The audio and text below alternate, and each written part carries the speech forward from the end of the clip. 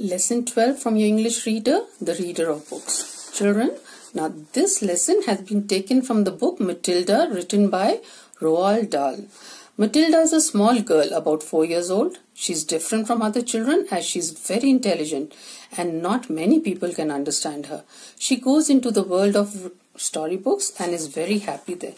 Okay, I must tell you that they have even made a movie on this book. So at some time, if you get a chance, read the book or watch the movie and you'll find it very, very interesting. Now let me read out the lesson for you. The reader of books. Matilda, a little girl, got out of her house alone one day. She walked to the public library in the village. Mrs. Phelps was in charge of the library. Matilda asked her if she might sit and read a book.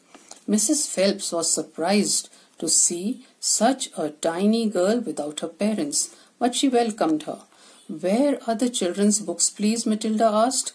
They're over there on those lower shelves, Mrs. Phelps told her. From then on, every afternoon, Matilda would toddle down to the library. When she had read every children's book in the place, she wandered around in search of something else. Mrs. Phelps had been watching her for the past few weeks. She went to her and asked, Can I help you, Matilda? I am wondering what to read next, Matilda said. I've finished all the children's books. You mean you've looked at the pictures? Yes, but I've read the books as well. Mrs. Phelps looked down at Matilda and Matilda looked right back up at her. I thought some were very poor, Matilda said, but others were lovely. I liked the secret garden best of all. It was full of mystery the mystery of the room behind the closed door, and the mystery of the garden behind the big wall. Mrs. Phelps was stunned. Exactly how old are you, Matilda? she asked.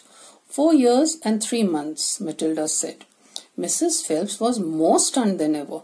What sort of a book would you like to read next? she asked. Matilda said, I would like a really good one that grown ups read. I don't know any names Try this, she said at last. It's very famous and very good. If it's too long for you, just let me know and I'll find something shorter and a bit easier. Great Expectations, Matilda read by Charles Dickens. I'd love to try it. Over the next few afternoons, Mrs. Phelps could hardly take her eyes off the small girl at the far end of the room, leaning forward to read the book on her lap it was a strange sight to see this tiny, dark haired girl sitting there with her feet not even touching the floor. She read about the wonderful adventures of Pip and old Miss Havisham and her house with great interest. Mrs. Phelps always felt sad when the time came for her to cross the floor and say, It's ten to five, Matilda.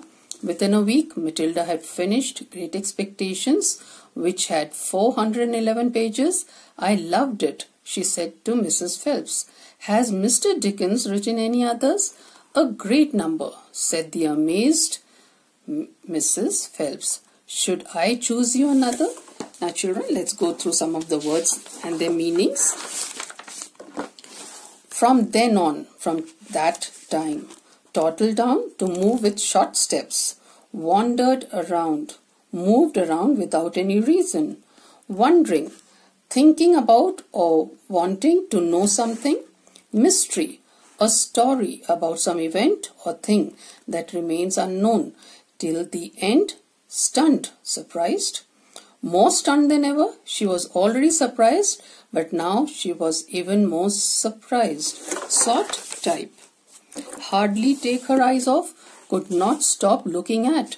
Cross the floor, Go to the other side of the room. 10 to 5, 4.50 p.m., the closing time of the library. Amazed, surprised. Now, that was very interesting, her visit to the local library.